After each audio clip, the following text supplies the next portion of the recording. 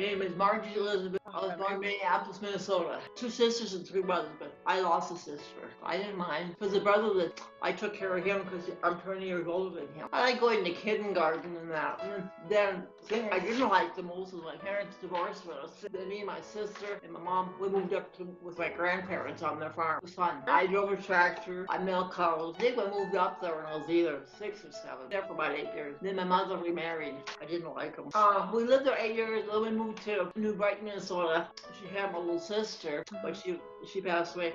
Then she had my little brother. My two other brothers, they didn't know her. They weren't born then. She was okay, but she's very domineering. The one I was close to a little girl was my great grandmother. She was a model, and I did some too I was younger, I don't remember.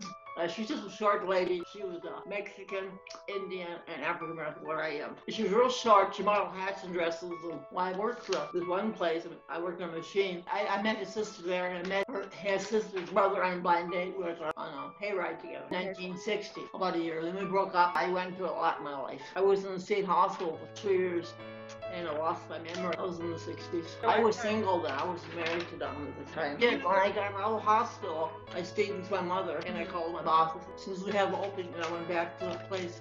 I started working there. It was a clothing place. I made stuff there. I cut patterns out and packed. I made pretty good money. I just got one job working with small. That's the only job I. I, retired at 62. It was in Minnesota.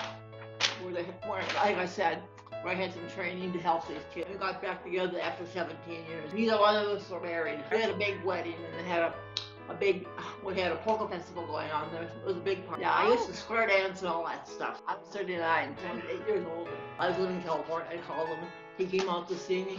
And so I went back in August and we got married the following June. We were married 37 years. If you'd lived, we'd been married 39 years. Well, we had a, a terrible car accident in Minnesota and we put in a senior home there. My sister-in-law is a lawyer. She come there and she had to help take care of stuff because we couldn't have our home. It had steps.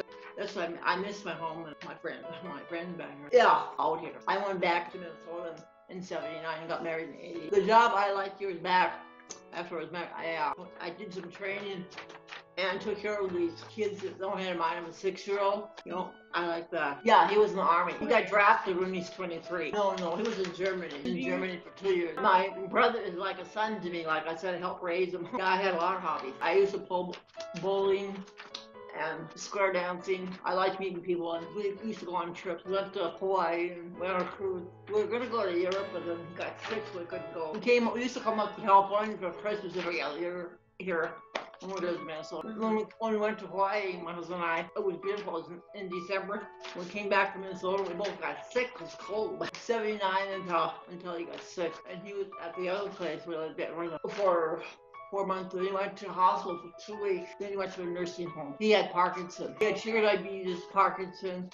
He died from controlled heart failure he was blind and whatnot. Well, we both came back. My my sister-in-law told our places and we couldn't live there anymore because they had steroids. Almost two years longer. I lived at the other place a year. I like this place better. I like bingo, I like blackjack, and I like that game they play outside, that thing that rolls the ball. I don't know what they call. I like the people here and the ones that work here. They're really kind to me. They're nice. It's a nice place to live and it's a beautiful place.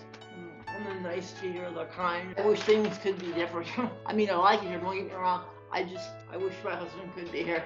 If you got a problem, they listen. They're very kind here.